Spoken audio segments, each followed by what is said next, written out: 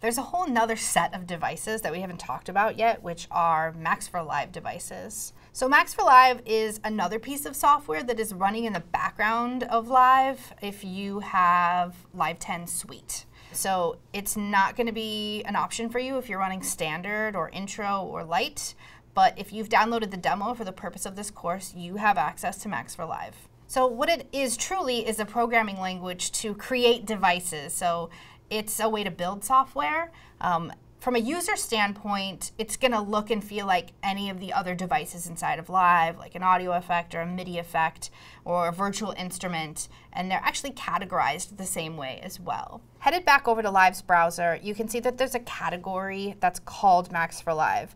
And inside of that category, we have audio effects, instruments, and MIDI effects. So just exactly the same way that it's compartmentalized inside of the browser with native devices to live, we have Max for live devices displayed for us in the same fashion.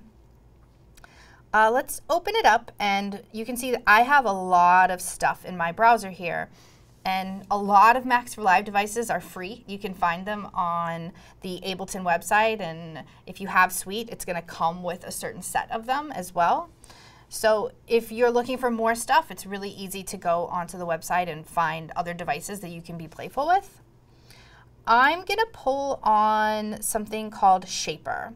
So I've got this harmonic progression selected, and I'm going to select Shaper and it inserts itself right here. So you can even see that from a user standpoint, it looks very much like a regular Ableton device. They might have some difference in appearances, or the skin is what it's referred to, might look a little bit different. From the place that we're sitting, this is going to be exactly the same concept as being creative with an audio or a MIDI effect. So Shaper is one of my favorites, and I want to just take a moment to show you how it works. So you can see I've got this, this motion, I've got a wave that's happening. This is a sawtooth wave. And I can use the movement of this wave and assign that movement to other parameters on another track. In this case, it's the chords. What I've just explained to you is the basis of how an LFO works. So Shaper device is an LFO, a low frequency oscillator and I'm taking the oscillation or the movement of that wave and assigning it to parameters someplace else also known as a control signal. This device also comes in an, with another name called LFO, but if you're using Live 10, you're going to see it listed as Shaper. So here's the wave, and you can see I have other waves I can go to. I've got some really interesting stuff. Let's map this to the volume on these chords and see what happens. So all I have to do is click on Map. You can see it's flashing, telling me it's ready to be mapped. And I'm just going to click on the volume here. So if I head over to session view, you can see that the fader itself is in motion, and, and, this is the motion of that wave moving back and forth. So let's press play and see what happens.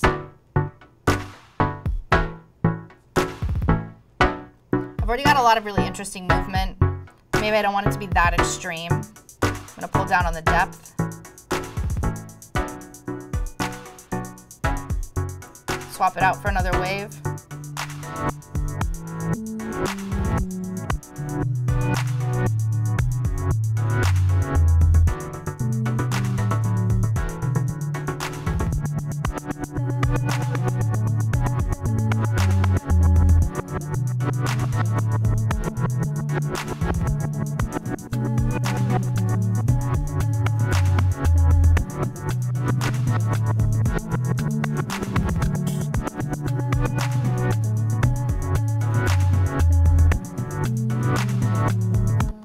I'm, I'm liking saw moving in this direction and I've synced it to a quarter note. So it's, it's kind of emulating like a side chain pumping effect, if you will.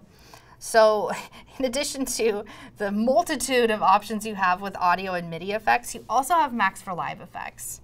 And there's a lot more that is under the hood here. So like I said, Max for Live is a programming language. So I've opened this patch in presentation view and what I'm looking at is the back end of how this was built. So I have the option of checking out the signal flow on this device and how it was patched from beginning to end.